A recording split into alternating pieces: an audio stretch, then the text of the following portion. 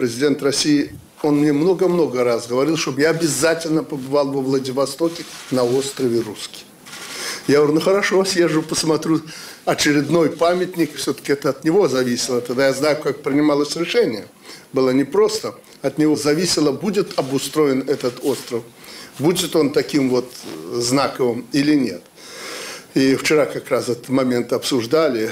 Все, приняли решение, ничего не будем делать. Деньги большие, строить там и прочее. Вот утром пришел, сел, подумал, нет, надо построить, потому что потом не построим. То мне вчера рассказывал опять эту историю в деталях.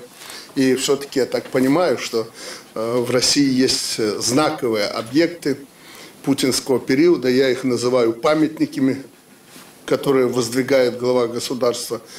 Все мы что-то имеем такое, что создали во время своей работы. И вот он гордится островом Русским. Еще мне называл несколько объектов. А вчера показал э, в Амурской области очередной уникальный проект, которым будет не только гордиться Россия, это мирового уровня, и сами технологии аналогов не имеют в мире вообще. Место красивое, мне очень понравилось. И вот он говорит, обязательно тебе надо остров Русский. Я говорю, я пойду во Владивосток, там у нас свои люди надежные, на остров Русский обязательно. Поэтому это, прежде всего, заслуга Владимира Владимировича, что мне честь такая выпала побывать на краю нашего общего Отечества. Мы всегда говорим от Бреста до Владивостока.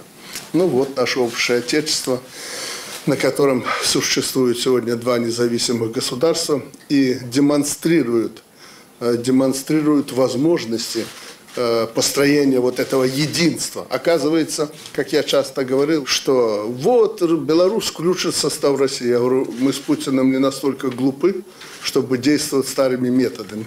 Мы, говорю, отстроим такое единство двух независимых государств, что у нас будут учиться. Будут учиться. И как санкции преодолевать и так далее. Вот. Правильно вы сказали, санкционный период – это время возможностей. Может, я не совсем осознаю этот так глубоко этот период. Может, наши мнения не совпадают, у нас экономики все-таки разные. Но я рад, что эти санкции нам ввели. Наконец-то мы с Россией начали сотрудничать так, как мы должны были давно сотрудничать. И вот вы сказали, что Патрушев, Игорь подписали, э, последние сняли ограничения. Их, это анахронизм. Их вообще в наших отношениях быть не должно было. Ну, я понимаю, Россия огромная, не объехать, не обойти. Все хотят здесь работать. Работать, не только стремятся там с какими-то гадкими намерениями. Э, но, тем не менее, все сюда стремятся. И я понимаю, что и президенту, и правительству было непросто. И тех обидеть нельзя. И этих Турция просит рынок, чтобы продавать там томаты, кто-то еще что-то. И надо всем угодить, потому что со всеми надо сотрудничать. Россия огромная. И Китай тут рядом, что актуально для вас, Япония, Корея и прочее. А, ну что ж, они сделали свой выбор. Поверьте, на счастье не только нам, но и вам. Нам почему удобно? Нас не напрягает российский рубль.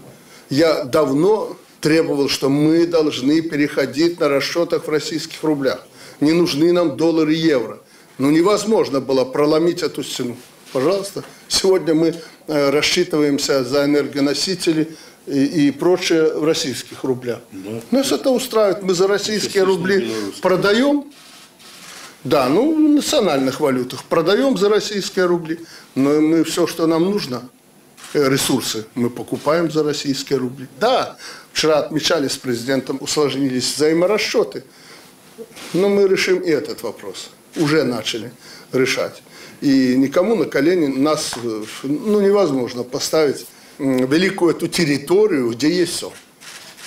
Есть все ресурсы, есть все сырье, есть высочайшие технологии.